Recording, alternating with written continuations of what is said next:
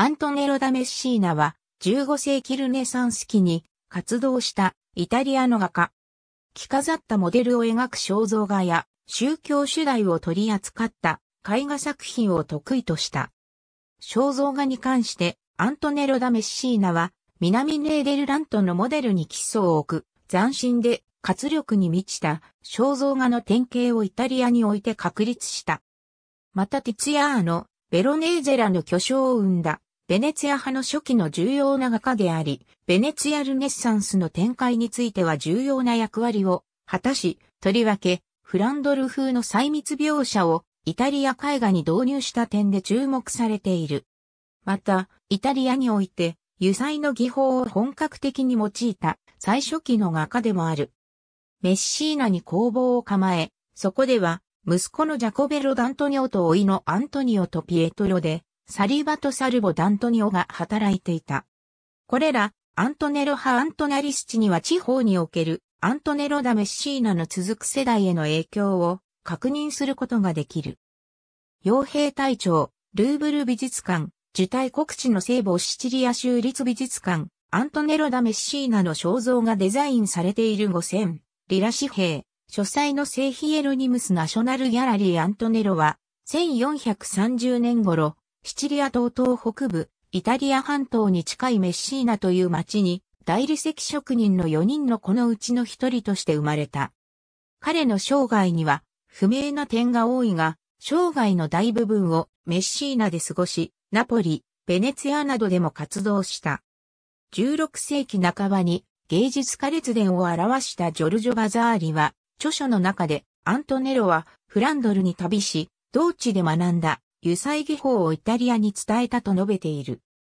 アントネロの作品にフランドルの影響が顕著に見られること、イタリアにおいて本格的油彩技法を用いた最初期の画家であることは認められるが、彼がフランドルに旅し、油彩技法をイタリアに伝えたというのは、バザーリの創作のようである。アントネロは修行時代をナポリで過ごしており、ナポリでヤン・ファン・エークなどのフランドル画家の作品に接した可能性が指摘されている。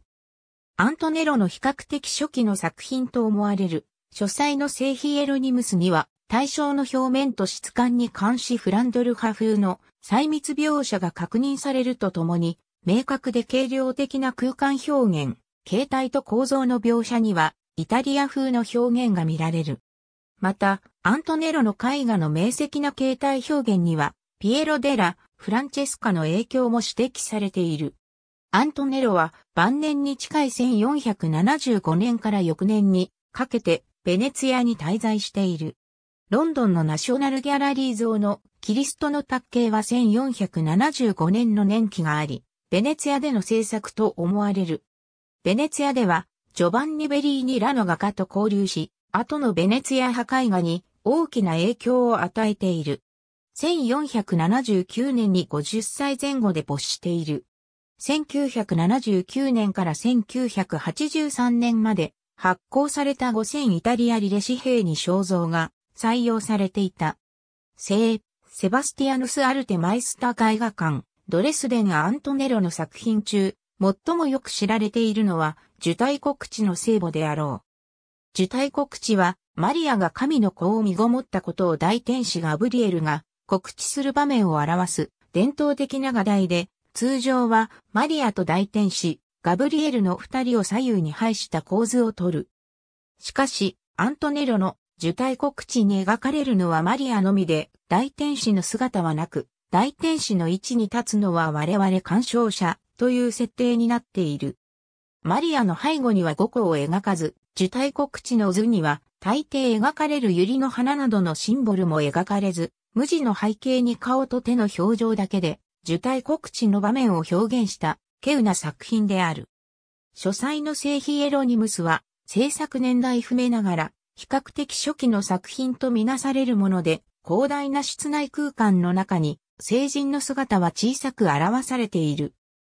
書斎の小道具の一つ一つや、遠い窓の外の風景まで細密に書き込む手法は、フランドル絵画の影響を示している。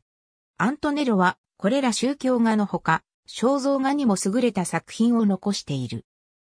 天使に支えられるシセル、キリストプラド美術館、マドリード。ありがとうございます。